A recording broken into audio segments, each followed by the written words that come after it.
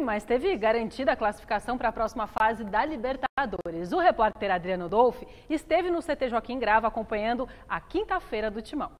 Mesmo sem entrar em campo neste meio de semana, o Corinthians garantiu vaga à próxima fase da Copa Libertadores este sábado pelo Campeonato Paulista. Aliás, o time deve estar praticamente completo para essa partida, exceção feita a Rodriguinho, que ainda está no departamento médico e se recupera de uma lesão muscular. A equipe deve ser com Cássio no gol, Fagner, Felipe, Iago e Wendel, Bruno Henrique, Elias, Giovanni Augusto, Guilherme e Luca e no ataque André. Agora há pouco, Tite dedicou boa parte da atividade às finalizações, já prevendo um jogo bastante truncado contra o adversário, mas o Corinthians assumindo todo o favoritismo para a partida, inclusive porque está jogando em casa a previsão de público de 40 mil pessoas na Arena Corinthians